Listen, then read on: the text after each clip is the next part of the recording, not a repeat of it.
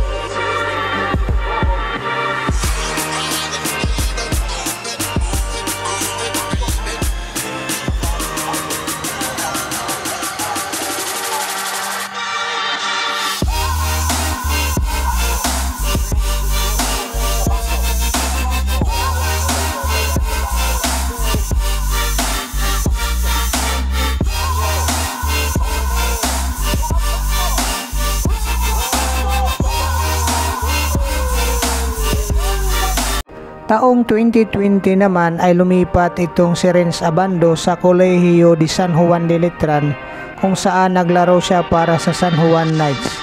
Dito sa paglipat niya sa Letran Knights ay naging fruitful ang kanyang mga taon sapagkat dito lang naman siya nanalo bilang NCAA Philippine Champion year 2021 at siya rin ay nanalo bilang Rookie of the Year at the same time MVP sa taong iyon. So dito mga course ay lalo pang nagingay ang pangalan ni Renz Abando dahil dito sa mga awards at uh, mga honors na nakuha niya dito sa paglalaro sa NCAA Philippines. Panoorin ang highlight ng laro ni Renz sa NCAA.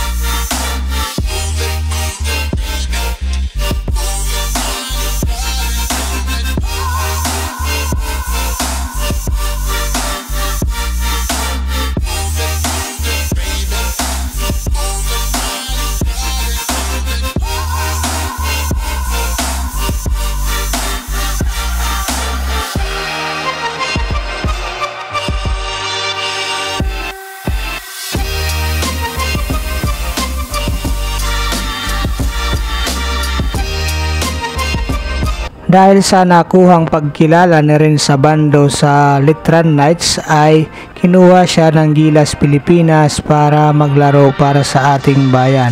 Ngunit mayroon hindi siya magandang karanasan dito mga koy sapagkat ay katulad ng mga balita na nabasa natin ay binangko nga lang ito ni Coach Chat Reyes at nasayang nga ang talent ni rin sa bando para magpakitang gilas dito sa ating pambansang kupunan Gilas Pilipinas. Sana nga lang dito mga koy sa ngayong taon ay hindi ito mangyari kay Renz Abando at magamit niya ito si Renz Abando dito sa Gilas, Pilipinas. Magkaganon pa man mga koys ay umakyat nga itong si Renz Abando bilang pro at mas inaabangan ito ng PBE na papasok na nga sa PBE draft. Ngunit mas pinili ni Renz Abando maglaro overseas via KBL kung saan tinanggap niya ang offer ng KGC na 237 million won So dito nga nag-sign itong si Renz Abando mga koys at naging mautak lang itong si Renz Abando sapagkat malaking pera nga naman ang kontrata na binigay sa kanya ng KBL. At dito nga mga koys ay naging isang KBL champion siya 2023, KBL Slam Dunk Contest Champion 2023, KBL 3 on 3 All-Star Game Champion 2023. So dito mga koys marami pang mga grasya ang kanyang makukuha dito sa anyang KGC sapagkat ma, napatunayan na nga niya ang kanyang talento dito sa anyang KGC kung saan dito nga mga koys ay mas inaabangan siya ng mga Koreana at Koreano sa kanyang laro. Marami siyang mga fans dito na mga ibang lahi kaya uh, ang masasabi ko lang dito mga koys ay maganda talaga ang decision ni Ren sa bando na maglaro muna overseas bago siya dito sa ating bansa. Ngunit dito sa Gilas Pilipinas nga ay hindi naman niya tinatalikuran ng tawag ng bayan sapagkat dito sa ngayon mga koys para sa FIBA World Cup ay Nandito si Ren sa bando para tulungan ang Gilas Pilipinas na manalo dito sa ating parating na FIBA World Cup.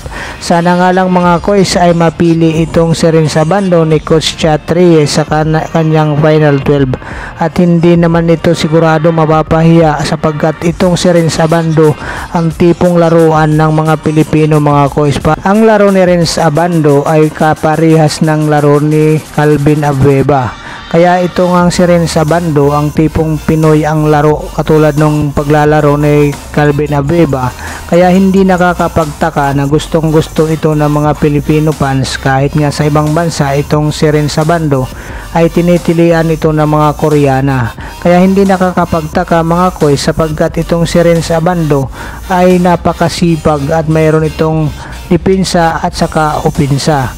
Ito nga ang kagust yung gusto ng mga Pilipino na makita itong si Renz Abando na maglalaro para sa Gilas Pilipinas sapagkat itong si Renz Abando ay nakakitaan ng mga Pilipino fans ng isang tunay na Pilipino na maglalaro dyan sa Gilas Pilipinas na ang kagustuhan lamang ay ang manalo.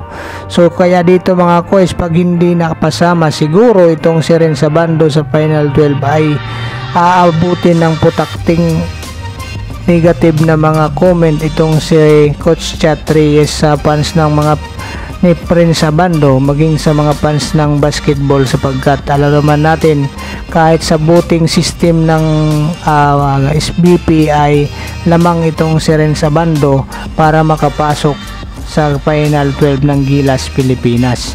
Pero nasa coaching staff pa rin at saka kay Coach Chatres ang huling decision mga koys dito sa pagpili para sa Final 12 ng Gilas Pilipinas.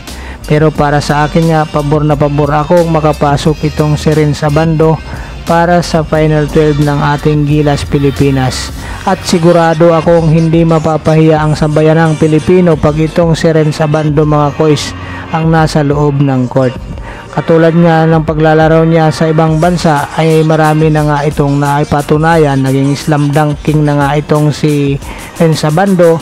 Naging isang champion na ito sa KBL at marami nang napatunayan itong si Renz Abando sa paglalaro overseas. Kaya ito mga koys, si Renz Abando marami nang talaga ang naiinggit dito dahil sa yaman nito mayroon na itong bahay at saka mga sasakyan maging ang kanyang buhay pag-ibig mga koys ay sasabihin na lang nating namumukadkad sa ngayon. Kaya siguro mga kois, katulad ng isang puno na hitik ng bunga, maraming gusto nitong batuhin o pukulin para malaglag ang bunga. Maraming salamat mga kois. Kung gusto nyo ang aking munting channel, huwag nyo namang kalimutang i-like, i-share, and i-subscribe.